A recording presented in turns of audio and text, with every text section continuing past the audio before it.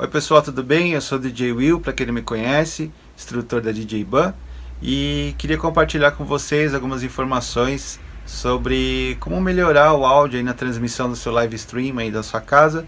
É, não sou nenhum especialista no assunto, então também tive que pesquisar e conversar com alguns amigos sobre possibilidades de melhoria no áudio para fazer o live stream, principalmente via Instagram, ok? Eu tenho dois setups aqui em casa, é, um pode tocar discos e mixer e uma controladora Tractor Control S4.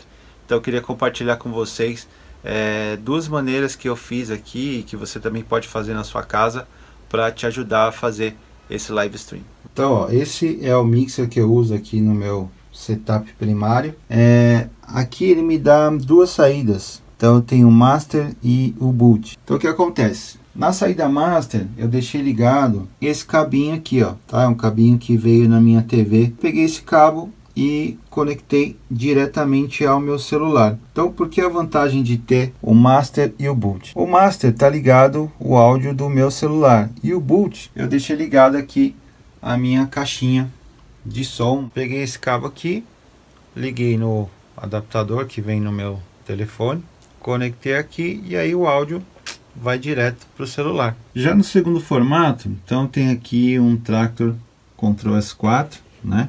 Então pode ser qualquer outro controlador do Tractor para você fazer isso. E aqui é o seguinte, o grande macete foi esse cara aqui, ó, chamado Black Hole, né? Então um roteamento de áudio é, virtual. Eu fui lá no meu Mac e criei um dispositivo agregado. Né? Então aqui eu tenho o Tractor Control S4, tenho aqui o Black Hole e aqui eu criei um dispositivo agregado que eu dei o nome de Will OBS Device. Eu agreguei então o Tractor Control S4, driver de áudio, mais o driver do Black Hole. Então por que, que eu fiz esse dispositivo agregado? Que assim eu posso vir aqui nas preferências do meu Tractor e aqui eu seleciono exatamente aquele dispositivo. Ó Will OBS Device, porque assim eu vou ter o áudio saindo pelo master do Tractor.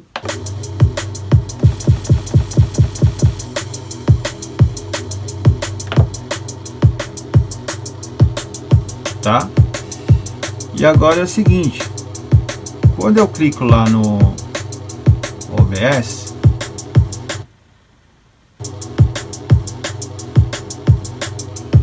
eu tenho aqui o meu áudio sendo recebido.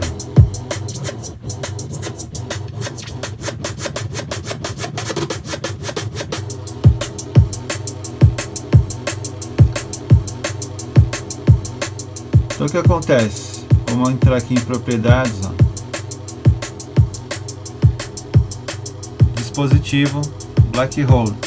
Então eu tenho aqui ó, é, o Will OBS Device tenho todos os dispositivos de áudio possíveis aqui do meu computador. E por que, que eu deixei esse cara aqui? Exatamente porque é ele que vai permitir que esse software receba o áudio que eu estou encaminhando do S4. Porque se eu colocar do S4 direto, ele não vai, tá?